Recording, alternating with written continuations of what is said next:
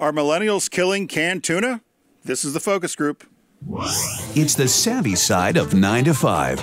Listen, Bueller, Bueller, Bueller. laugh, and learn. Negotiation. This is what you do in business. This is the focus group with Tim Bennett S T A U N C H. and John Nash. Keep your clothes looking neat and clean. We're all business, except when we're not.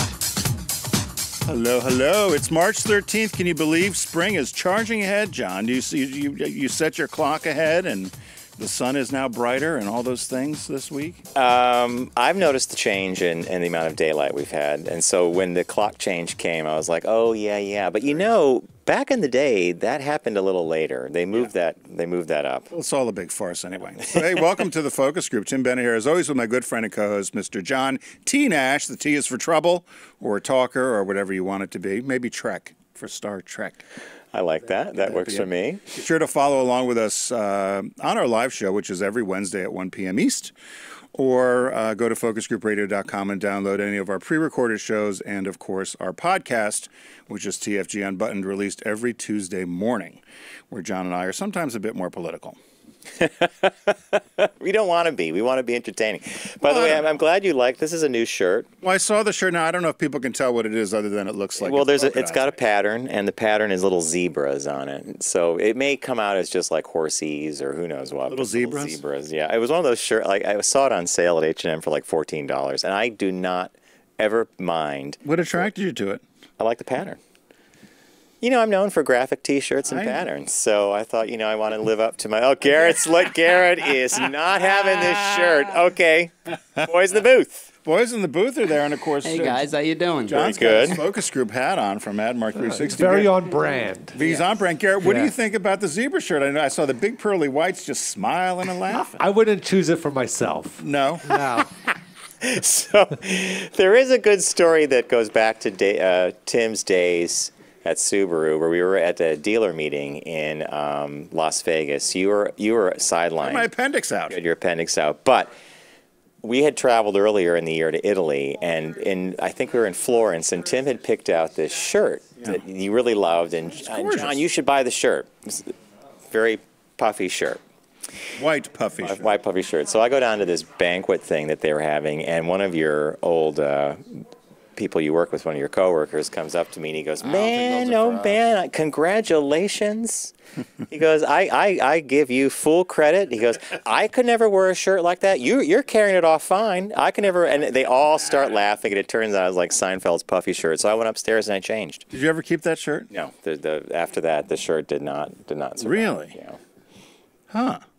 I like that shirt. I thought it was a nice shirt. A lot of guys wear shorts that are like that, where it'll be like an alligator print all around them and stuff. And I see a lot of it. I just not my style. Style, yeah. that. I can't do. I could do a shirt, but I'm not going to do the shorts like that. I can do. I've only had a couple things like that. I wore something was my our friend Kate. I'd gone down to her house and I had a I wore a pair of shorts down there, but it was just khaki shorts. I thought they looked fine for what we were doing. And we spent whole half the day together. And when I left, he gave me a little hug and kiss goodbye after about four or five hours. And she says, "By the way, when you get home, throw those shorts away." By the way, when you get home, throw looked those at that bad. You said away. nothing about it the whole time we were together, but apparently there was something up with those shorts I had on. So, who knows? All right, so um, I mentioned to you that I took myself last week to the movies to see an IMAX film called Apollo 11. Right. Now, you had said something about the footage and about the Apollo program on a previous program of ours. Um, so, NASA apparently found in the archives 70 millimeter prints, uh, film from the Apollo 11 launch. Primarily, and 70 millimeter is a large format negative, so the, the clarity of the images is amazing. But a lot of that footage has never been seen before. It was crowd shots, the Saturn V, how they rolled the thing up. So this is an hour and 34 minutes. It's just called Apollo 11, and uh, it is an amazing movie. It's super cool, and the new footage looks. Narr- is it narrated by somebody? No, actually, it's just all the audio comes directly from the command center, from uh, newscasters. It's all stitched together, and it weaves the story from launch to moon landing to re- to return to Earth.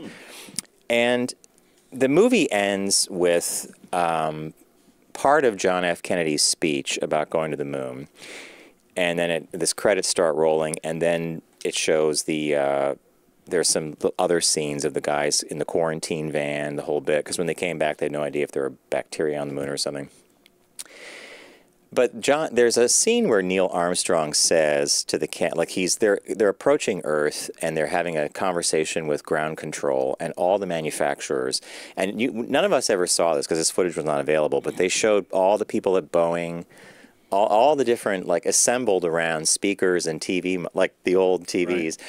And and basically he said the the three of us went but it's the result of thousands of people and man hours and it just and they show all these people getting emotional. I thought okay it's real and then they end with this uh, this clip. So i'm going to have garrett play this is this is the not often heard part of we're going to send a man to the moon in, in the next decade. So this is this is a how the movie ends but i want to say something after this.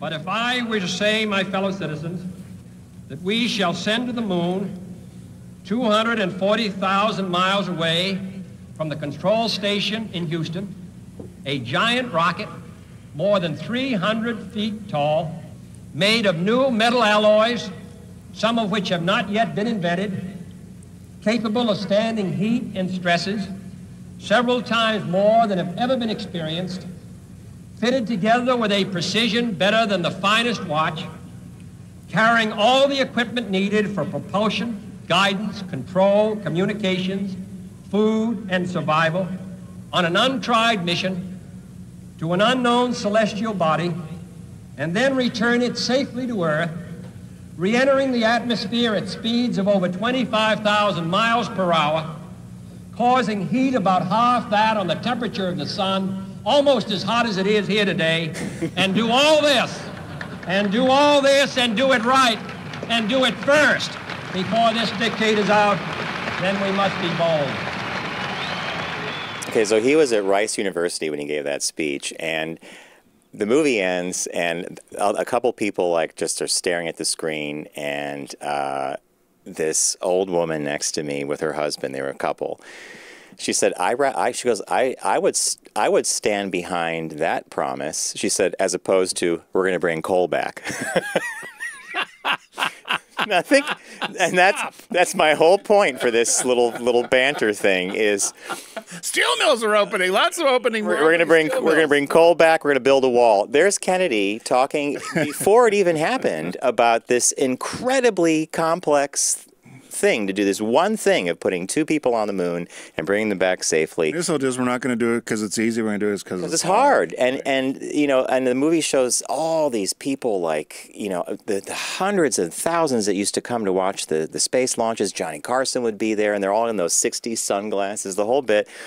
And I just sat there and I just thought, how did did we reach the zenith in the '60s? I guess from a maybe not, but Well, it was the you know the very much about the '60s. I think so much of it, and of course there was turmoil, there was strife, there were racial issues. I mean, it wasn't all all. no, you know, it was not all flowers and, nuts. yeah. But um, but it, I, I think people put country before nonsense. I won't even say before party, but before nonsense, because we talked about that when we did a deep discount hidden figures Yep. uh, selection of the whole country was wrapped around the space Science program. and was- space, right, of- yeah. Mm-hmm. of the promise, right? And, and we had, and that's what a lot of people missed about the Cold War, quite, quite frankly. We knew there was good and there was evil, right? There was a Quite wall, obvious. and you're either on the you're the west. The west is good. You know, you're either West bad. German or an East German. You're going to drive a BMW or a Trabant. I mean, it was, you know, you had you had toilet paper, you didn't. You didn't, right? You had a- terrible. You had a job or you were in the food line. You Right. get an egg and a ham. So it, um, yeah, it's So I, I wonder, you know, now mind you, during the, the Kennedy years and during the NASA stuff, and, and of course he was assassinated long before he ever saw his dream of this happening, there were people that were against the manned spaceflight program. We could send robots, it's cheaper, it's more effective, this is not good science. But it wasn't about science. This was about being putting someone on the moon and that person being an American. Yep. You know? Yeah, no, very much so. And there's something that you know. There's uh, Dave Mc, David McCullough is coming out with a new book called The Pioneers, which happens to be about the Northwest uh, territories that we got from England. And he taught, but I, I saw a lecture with him just recently, and he talked about the fact of the importance of Ohio in the space program Oh yeah. and the importance of, he said, you know, the first two people to take flight, being the Wright brothers from Ohio, and then two of the astronauts, um, um, John Glenn went to Muskingum College, which is only 60 miles away from my school, which Marietta. Story Musgrave, who did the space shuttle. So he said these astronauts, these flight, this kind of promise pioneer sort of thing that we as a country used to rally around. And Yeah. he said, and a big part of that he took um, as our kind of our western, as the 13 colonies went west, and the kind of people that it took to do that, and that it took to go to the moon. You know, so it's. What did Reagan say? Our best days are ahead of us. Maybe they are. Yeah, no, no. I, I, I miss the, the oratory capabilities of, of lifting some lifting people up to a vision that we might not all share perfectly, but I certainly I certainly like it more than like that old lady. Like, Let's bring coal back. Coal's back. People are crossing drugs, opioids. We need a wall. what caught your eye this week? What caught your eye? Here's what Tim and John found. Okay, this is a quickie. It should come as no surprise based on the fact that when you're trapped on one of these things, things happen. But the headline that caught my eye this week was Cruise workers say they have so much sex on ships that it's comparable to a college dorm. Really? yeah, I know. I never had any expectation of that. Sex among cruise ship workers is pervasive. Uh, some compare the hookup culture as being similar to or even exceeding the college dorm experience. It wouldn't be hard in my case to exceed my experience. I was not necessarily hooking up in college. But the permissive sexual, no, I wasn't, but this permissive sexual culture on cruise ships can also lead to aggressive or inappropriate behavior and romantic relationships among employees develop and end much faster. So the article talks a lot about the fact that they're you're 10 feet away from people all the time. You dine together. This is all back of house. So, you know, you don't, as a passenger, you, don't don't see see all yeah. this, but they live in very cramped quarters. They eat in a very specific area. And uh, so I guess they have. Uh, I would expect they might have a fracture, fracture, fracture, fraternism. how do I say nothing nothing a fraternization Yeah. policy nothing was nothing was stated in the article about a a policy like that because in some ways it makes sense that you couldn't actually enforce that you know people are going to start dating whatever but one uh, one person said that there's ship time and there's land time and so it appears that if you're in a relationship on a ship uh, it's the, for the length of your contract if you're lucky. But that could be the equivalent of being seven years on dry land in terms of all the stuff that happens, right? Well, did you ever? Did you watch that show Below Deck? Yes, yeah, I think they have some romances. uh, don't they sure do, yeah. It's usually when they're in port, right? Yeah, but they're also in close quarters, and you know, it's not like so they hire these really fit young guys, Yeah. and the girls are good looking, and so uh, Missed out. I should You have. probably could have been a purser or something. Such a hot So here's one guy that said Chad Stone, a former production manager for Seabourn Cruise Line, said the dating scene on cruise ships was part of the reason he stopped working on them. At one point, he got engaged to a coworker, but ended the engagement a month later after he learned his fiancee had cheated on him during a break between contracts, which sometimes is only two weeks or something. So you know, I Of course she cheated. yeah, of course she did. That's true. So there you go. It's it's I I wasn't surprised by this. Um, there were a few things that did make me laugh about the length of time uh, a relationship on the sea happens versus on the land. But there you go. Well, you know, they always show them in those tight quarters. I wonder about that on, on submarines or in the military Yeah, too, right? yeah. Because Companionship, you know, fellowship. fellowship. That's the word we're looking. Yeah, fellowship. So mine, um, I saw the headline. I had to read it, and of course, um, it was a little bit of a clickbait, maybe. But the headline was: "The chicken is local, but was it happy?" GPS now tells the life story of your poultry. I don't know if I want that. This was a story that NPR ran, and essentially was a GPS tracker strapped to the leg of a chicken means the people who potentially will buy that chicken to eat will know every step that the chicken has taken, says food historian Robin Metcalf. Shoppers are willing to pay a premium for ingredients that are cage free, organic, or wild caught. They'd like to know if this chicken spent its life eating, happily pecking at the corn and blackberries that were locally grown and pesticide free. So they've decided to put trackers on them, and they're doing this in China right now. There's a Chinese company, Zhong'an, Zhong'an, Chinese insurance company, has already outfitted more than 100,000 chickens with trackers.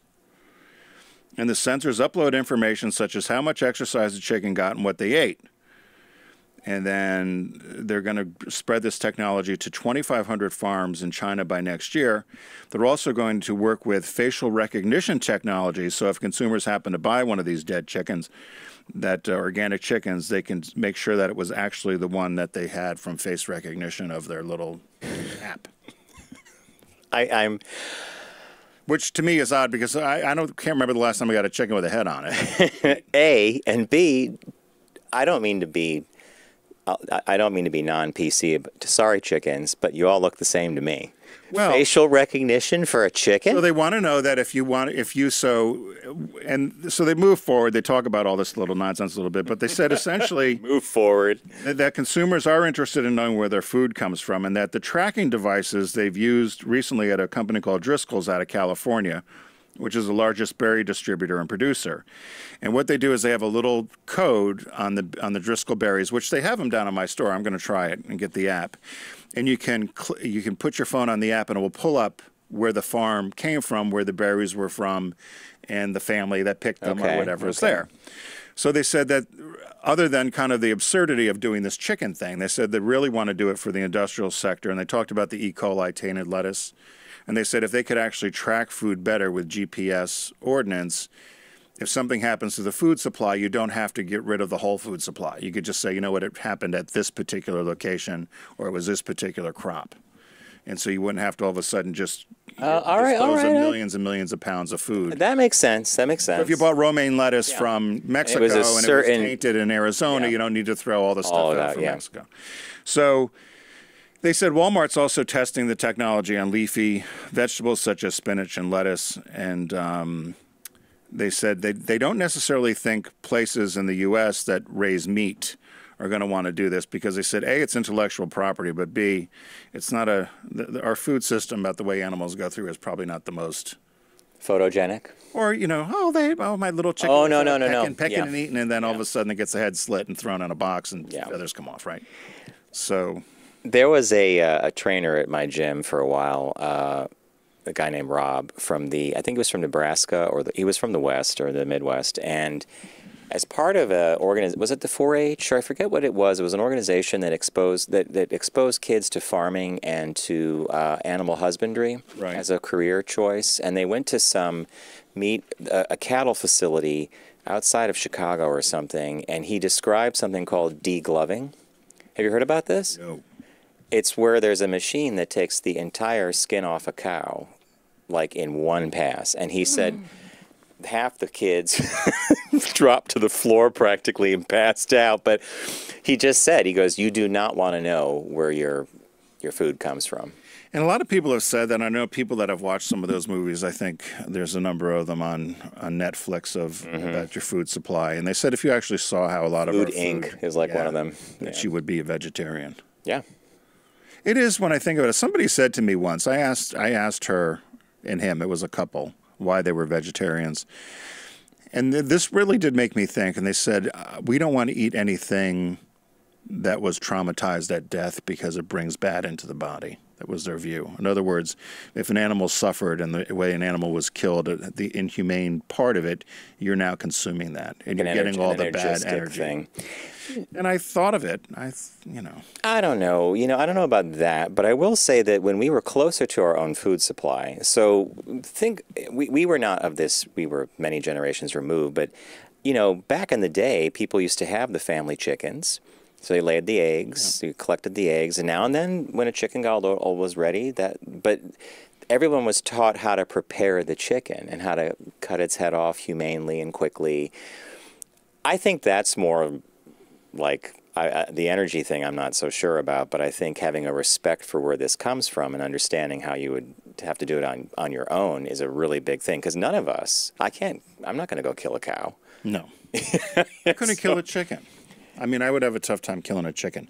And I, I so I, you know, I've thought about. Richard's thought a lot about being vegetarian. He he never ate meat a lot. His dad was a butcher, but he never ate meat a lot as a kid. And um, even to this day, he eats very little meat. Hmm. But I don't know.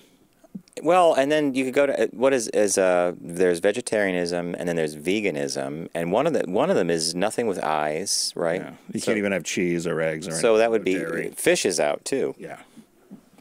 I don't know. It's uh yeah. You boys be vegetarians? No way. Definitely not. Sorry. I love a burger. I, I swapped my best friend of like being a vegetarian for 20 years. What? Yeah. What do you mean you swapped? I got him to to flip or whatever and start eating meat. And the first thing was like a Slim Jim or something. Oh my God! Did he? worst Did he all of a sudden did his stomach go crazy? He like was thinking about it for a while, and then I had Slim Jims, and he was like, "Fuck it," and just went into it. So then, yeah, and you know his stomach was fine. Now he loves meat and eats meat all the time. That he Carnivore now. does. Wow. Yeah, see, I and then there's this whole thing about the fact that we, as a species, are hunted, hunted and killed. We didn't have meat all the time. A lot of a lot, lot of berries and, and leaves in between, but it's been part of our diet. So All right. Business birthday. Everyone does celebrity birthday greetings, but I the know, it's Focus kinda Group hot is in the only show in the universe that celebrates business birthdays. Born March 13th, 1908, died in 02 at 94, Walter Hubert Annenberg. American businessman, investor, philanthropist, and diplomat. He owned and operated Triangle Publications, which included the ownership of the Philadelphia Inquirer, TV Guide, the Daily Racing Forum, and 17 Magazine.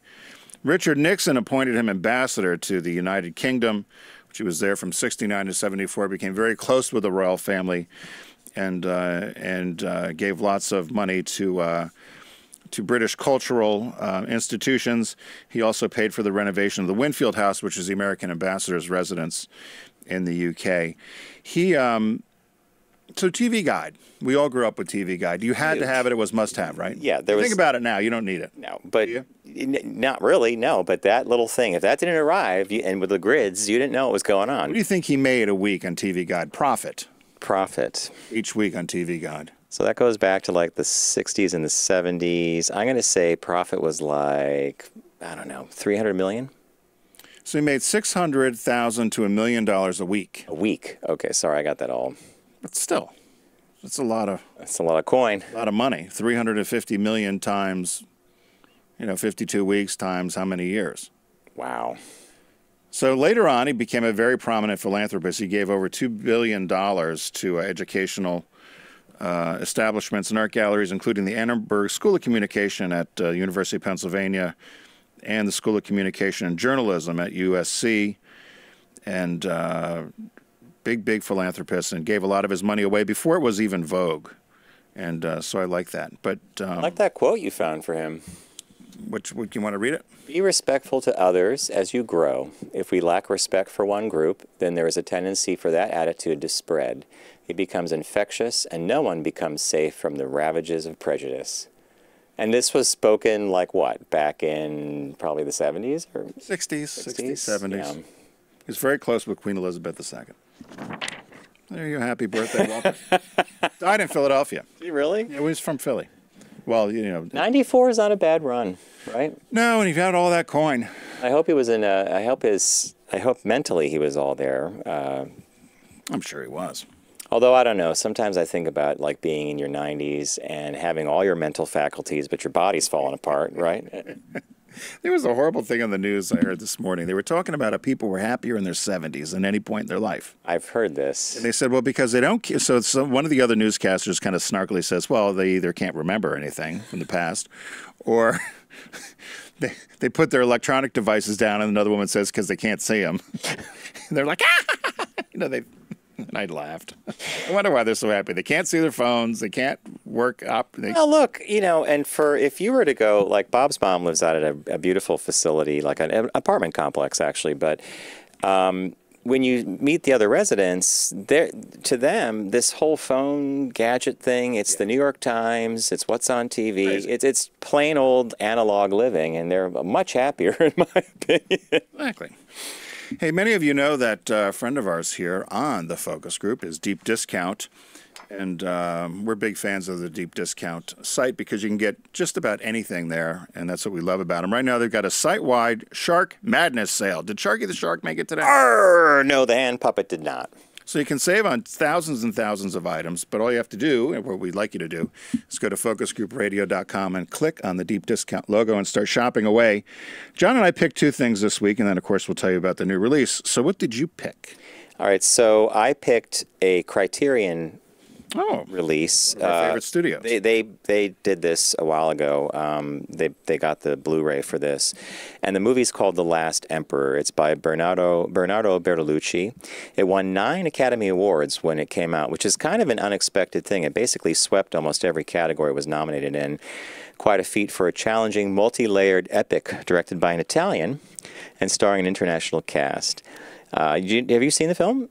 I haven't. It's about the life of uh, Emperor Puyi, who was the last the last emperor before uh, the revolution and the whole Where? China. Japan? China. China. Puyi. Pu Yi, who took the throne at age three in 1908 before witnessing decades of cultural and political upheaval within and without the walls of the Forbidden City. In fact, they filmed in the Forbidden City. Took was the throne at three? three years old. He was younger than Kim Jong Un. Well, he had a, a regent um, that ruled in his stead until he was old enough. But basically, in real life, Puyi lived in the Forbidden City, never left. And when the Cultural Revolution happened and they finally broke into the Forbidden City, he's like, "Hello," you know. so the movie is really beautiful, and the uh, it's twenty three ninety nine on sale at deep discount. Uh, this is the Criterion release, and it's the theatrical release that's been restored with the new um, cleaned up soundtrack as well. And I can't wait to get it again myself because I think it's a beautiful film. I love it. You love a beautiful film. I mean, that, that's the one thing I do remember people talking about. It was the Historic, yeah, historical. It's it's a really fascinating look at that time period. What was the time period? Do you know? Well, it was the 19th, so it would be 30s, 40s when the Cultural mm. Revolution happened. Yeah. Wow. I picked something very totally different, a cultural revolution of itself.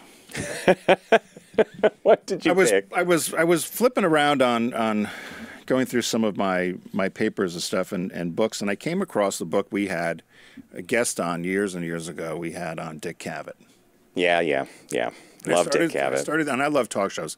And I started thinking about talk shows, and I said, as I was going to do my deep discount pick, whatever happened to Mike Douglas? I know. Because there's reruns of Cavett and there's reruns Mm-hmm. of Carson and all this stuff. And of course, Deep Discount has Mike Douglas Moments and Memories. So it's uh, it's for only um, fourteen dollars and seventy cents. You can get the DVD, save yourself about twenty five percent. It's uh, a nostalgic look back at the Emmy award winning Mike Douglas show and the man behind who became America's best loved daytime talk show host to over 6 million viewers. This was originally released in 08. It's uh, about 115 minutes long, and it features a lot of the great interviews from um, some of his more more famous guests, I would say. Uh, between 1961 and 1982, people like John Lennon, Martin Luther King, Bill Cosby, um, Yoko Ono, Bob Newhart, Mel Brooks, Billy Crystal, Steve Martin, and Tiger Woods when he was a little kid. Well, he must have been like a, a really I like remember, I remember seeing that show golfing, and I used to. I remember two things. I remembered a lot about the Mike Douglas show. One time he would go off to these locations sometimes, and he went to Florida, and they had a KC and the Sunshine Band. And I was so jealous of how long KC's hair was. He had that long hair, do a little dance, and I, I thought that's a cool guy. And then I remember seeing Martina Navratilova, and she had this necklace on that he kept looking at, looking at, looking at, and he asked her what it was and the significance, and it was a it was two symbols. It had an X, and it had a check mark. And I remember him saying to her, "What does that mean?" And she said, "X check," she used to be Czechoslovak. Oh, that's funny. That's and that always funny. stuck in my mind. So years later, when I happened to work with Martina, I remember telling her that. Of course, she remembered none of it. She didn't She remember not being on the show. remember that? Yeah, she remember. She's been on so many shows and things. She, but she was. He used to have guests on for the whole week. He used to have them as a co-host or whatever. Right, special guest. right. So anyway, you can get that at deep discount. And the uh, the release this week is uh, Academy Award winning film Green Book on Blu-ray. Takes place in 1962. Uh, Viggo Mortensen plays a club bouncer named Frank who chauffeurs celebrated African American classical pianist Don Shirley on his concert tour of the Deep South. And of course, the Green Book refers to the kind of like the AAA guide that African Americans had to use to literally navigate the South on where they could buy gas, where they could safely eat or lodge, which is now you think about it, it's insane, but it was a very necessary thing. Um, I was just talking to our uh, our friends over at Deep Discount, and Lauren loves this movie. She thought it was one of the one of her favorite Oscar films, actually. So, Lauren says, Lauren says, get it. get it, get it, yeah. I wanted to see that. All right, so to recap, Shark Madness sale, Shark Wide sale, site wide Shark Madness sale. Save on tens of thousands of items over at deep discount. Get there by going to focusgroupradio.com, clicking on the shark logo, Arr! and starting your shopping. I picked uh, The Last Emperor from Criterion. That's the one you want to get because it's the theatrical release. Tim, very cleverly, and I loved Mike Douglas as a kid, so did my grandmother. Douglas Moments and Memories. And the release this week is Green Book on Blu ray, Academy Award winning film. So, Garrett, what do we say? Thanks, Deep Discount. We're going to take a super quick break, and when we're back, we got some shop talk for you, so stay with us. You're listening to The Focus Group with Tim and John. Learn more at focusgroupradio.com.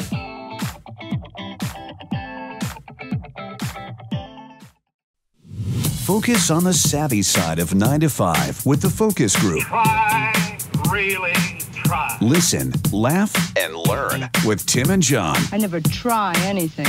I just do it. Still one of my favorite clips, that one. And movies. Welcome back to the Focus Group. Tim Bennett here with my good friend and co-host John T. Nash. What's the T for, Nash? Thomas. Thomas. See, we should have done the show. We've said this before. We should have used to used our middle names because they could be last names. Oh, yeah, yeah, yeah, yeah. I could have been Timothy Joseph, and you could have been John Thomas. Thomas, yeah, exactly. Well, Instead of Bennett and Ash. Thomas and and if I'm John Thomas over in the UK, that's slang for prick. Oh, it is Yeah, yeah. I was there once, and a friend's really. I never heard of that. Jonathan was giving a dinner party in my honor. He goes, and I would like to raise my glass to my good American friend John Thomas. And the whole table starts laughing. And I'm like, why is everybody laughing? Oh, love, that's slang for a prick. So they, That's like there was a girl I worked with, and the the Brits we worked with called her Sugar, Sugar. And I thought it was endearing that they called her Sugar, but they thought it was, there was a, ra- a famous racehorse in uh, England called Sugar, and they thought she looked like a horse, had a horse face. I thought, oh, they're being so nice. oh to her. my God, you're not kidding, are Yeah. you? And, and they're finally like, uh, you know why we call her that, don't you? I was like, oh, that's so sweet calling her Sugar. No, it's Sugar. She looks like a horse. It's like, oh, well, I won't let her know. Oh, yeah. Anyway, so we've got two shop talks here.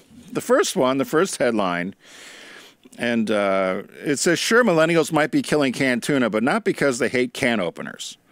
And so there's, there was a couple of stories that I dug into, and essentially said that uh, millennials have have uh, have abandoned the can opener and other other things that uh, generation. Uh, Whatever the Generation le- X yeah. and the boomers may may have had.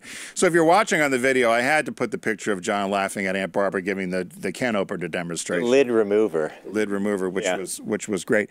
But um, essentially, they said millennials have killed bar soap, fabric softener, and doorbells. And I was listening the other day. You know, bar soap is more environmentally friendly than the liquid soap. I like bar soap. I like bar soap too. I don't like the liquid stuff. I don't think there's enough. I don't think it's enough to get my body clean. I like a bar. And let's You be boys use bars or do you use liquid? I bet they use liquid. I I go back and forth. I like the Dove body bar. You're talking about soap? yeah, Yeah. yeah. Yeah, yeah, yeah. But body wash isn't bad either. But I don't know. What Don't you about have to use too much? Be honest. What's that? I don't use anything. He doesn't. he says you don't Whoa, need whoa, it. he says whoa, just whoa, nice whoa, whoa. hot water. He's always telling me Here, not you to got to use soap. clean your par- private parts. You rinse them with water and stuff. And you have a girlfriend?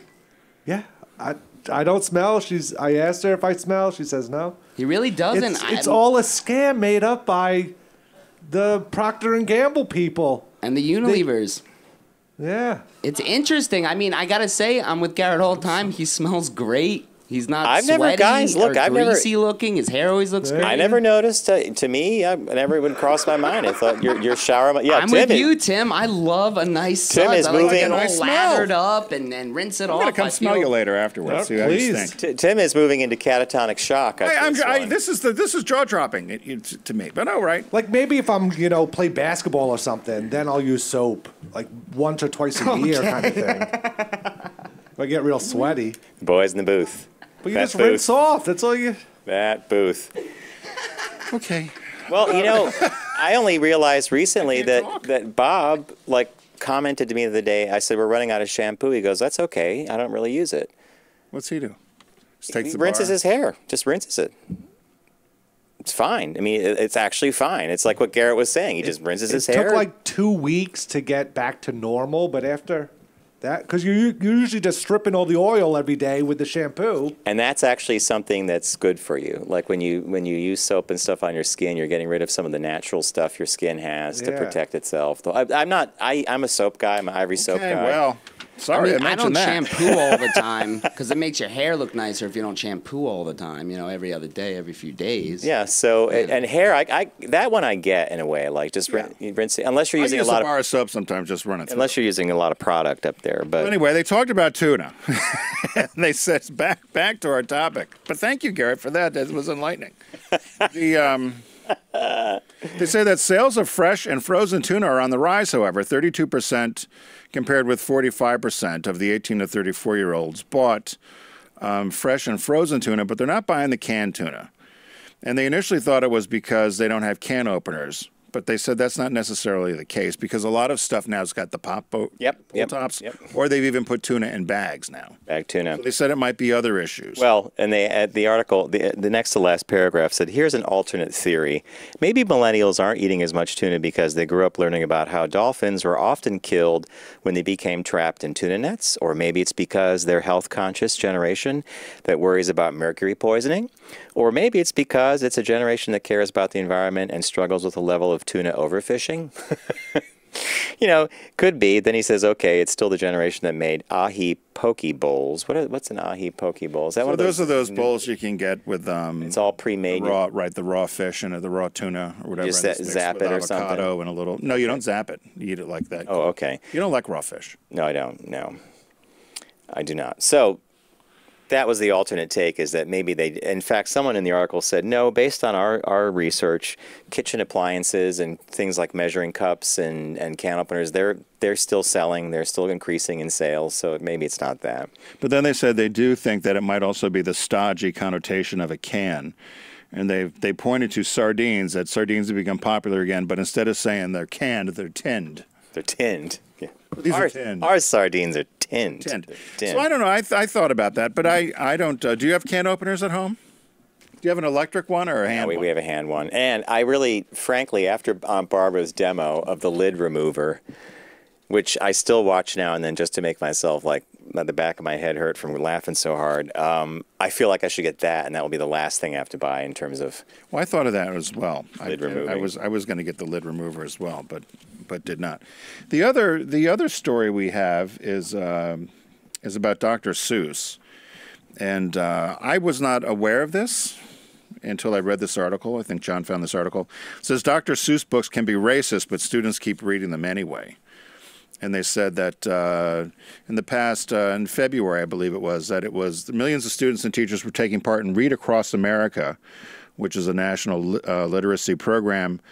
It's usually celebrated around the birthday of Theodore Geisel, or better known as Dr. Seuss. It's exactly how I would pronounce it. Yeah, better known as Dr. Seuss. So for over twenty some years, kids would dress up in and and Cat in the Hat outfits or other other costumes, and then they would have a week of reading. And then the article says, but some of Seuss's classics have been criticized for the way they portray people of color. In And to Think That I Saw It on Mulberry Street, for example, a character described as Chinese has two lines for eyes, carries chopsticks and a bowl of rice, and wears traditional Japanese style shoes. I guess it's that wooden thing with the two, yeah. There's a picture up there if you're watching the video. Oh, perfect. Okay. And then it says uh, in If I Ran the Zoo, two men said to be from Africa are shown shirtless, shoeless, and wearing grass skirts as they carry an exotic animal. Outside of his books, the author's personal legacy has come into question too. Seuss wrote an entire minstrel show in college and performed as the main character in full blackface. Um, so NPR actually did this article, and it's pretty extensive. And they talk about the challenges, the more broad, the broader challenges of taking literature that has been kind of woven into our upbringing, school curriculum, and the culture. And now that we have, I don't know how they how they put it in the article, but now that we see it in a different light, what do you do with it? Because it's still very popular, and kids still Right, and, love it. and they said a lot of this is obviously coming to light, um, particularly in the last few months. They said, should we continue to teach classic books that may be problematic um, and and show books or teach books that are more have more positive representation of people of color. They gave some examples. They talked about the Adventures of Huck Finn, where the N word appears over 200, 200 times. I didn't even realize that. and and some other other literature And, the that, and Shakespeare's The Merchant of Venice, where the uh, Jews are portrayed as greedy and money hungry. Um, all the and Shakespeare was known to be uh, have a keen understanding of human nature and continue to still be relevant today, even though these portrayals are in there.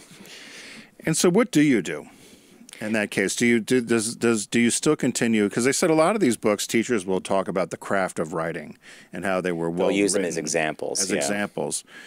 But I, I do I do I don't think you can wipe away history. No. And I, I do think that there's some relevance. But they talk about how if kids grow up and immediately see themselves portrayed as other or being laughed at or not being part of mainstream society, quote unquote, that uh, it has a negative effect on them. And um, Well, I think it was this teacher in Philadelphia that probably summed up my feelings about this the best. She said, not engaging with problematic texts like a Seuss or uh, the Huckleberry Finn type thing runs too great a risk of not learning or understanding where the problems lie. And um, she said, I, she's an English teacher in Philly. I believe there is a way to look at material that is stereotypical and racist and identify it for what it is, and then hopefully, in doing so, neutralize its effect. And she said when her class, when her high school kids uh, read One Flew Over Cuckoo's Nest with her senior class, she was careful to teach students how to read the work through a critical lens that took the author's background into account. The class discussions, she made sure to emphasize that context to her students as they exam- that context as they examined the work. So what was going on at that time? Time, right? yeah, so what she- was the yeah. what was the culture or what was the society like at that time? The other thing they go back to, they then bring it back to Seuss, and this one I, I wrote a side note about. It said that um, again they talked about Dr. Seuss not portraying any any people of color, and those that did were depicted as racist stereotypes. And I thought to myself, I never ever thought of any Dr. Seuss character being a person.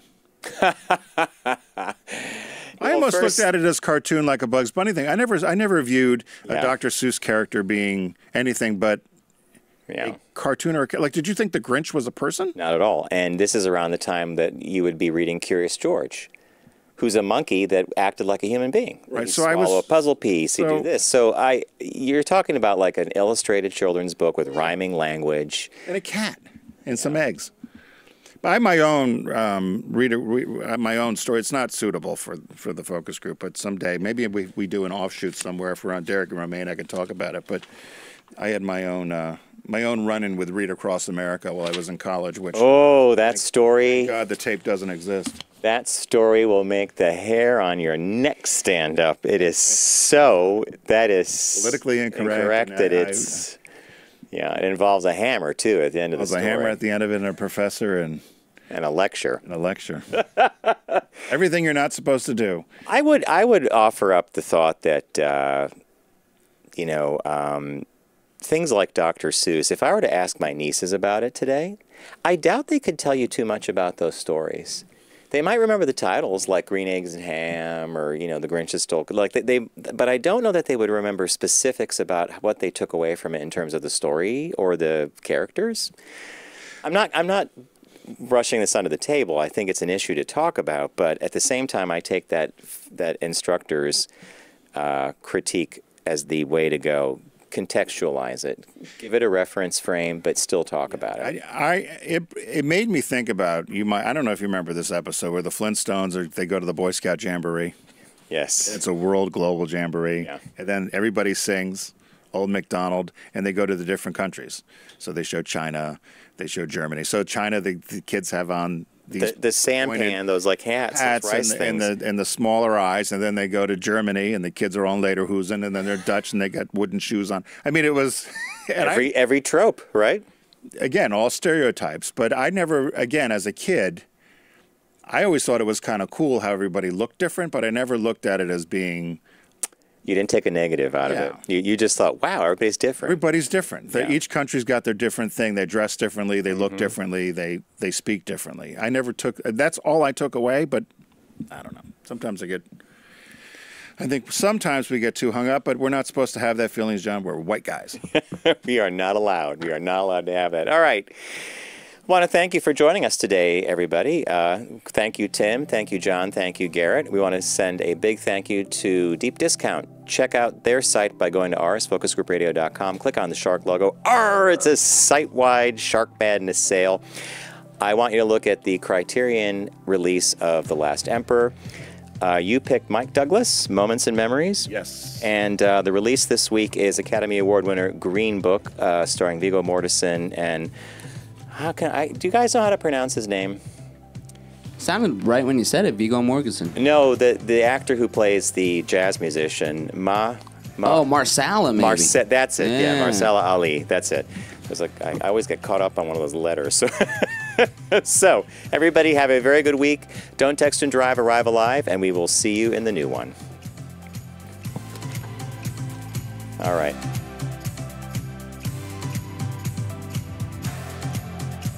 It's the Focus Group with Tim Bennett and John Nash. Accessible on all platforms. Subscribe, like, and rate us on your platform of choice. Learn more at focusgroupradio.com. That was a stunning focus group.